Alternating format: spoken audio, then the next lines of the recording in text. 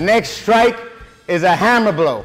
Hammer blow could be struck upwards or downwards. I'm going to teach a downward strike. This is a situation where somebody already got hit and he's bent over. Please, my guys, put your right foot forward and we're going to strike with the right hand first. Although you're in an opposite basic stance, you've got somebody that's already bent and he's about this height, this distance from you, and at this level. Right hand going to come up. I'm going to climb to the ball of my feet. I'm going to turn and strike him straight down with that fist, either to the back of his neck or the back of his head. Five times slow. One, two, three, four, five. Let's hit quick three times.